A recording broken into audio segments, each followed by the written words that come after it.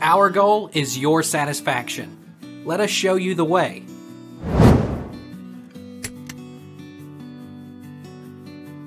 How can I go back to Windows 10 from Windows 11?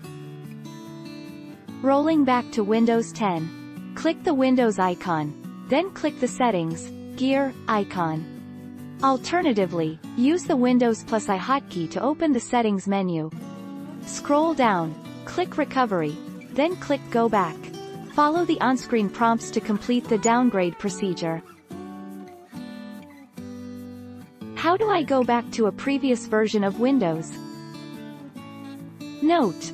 The option to go back to your previous version of Windows is available only for a limited time following the upgrade, 10 days, in most cases.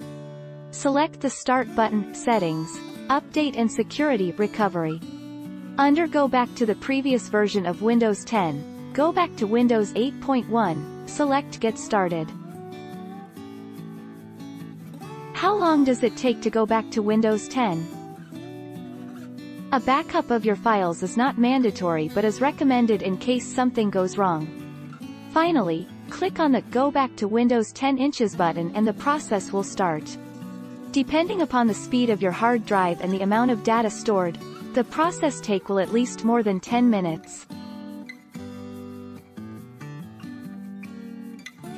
Take our lead. Let's help you make your mark.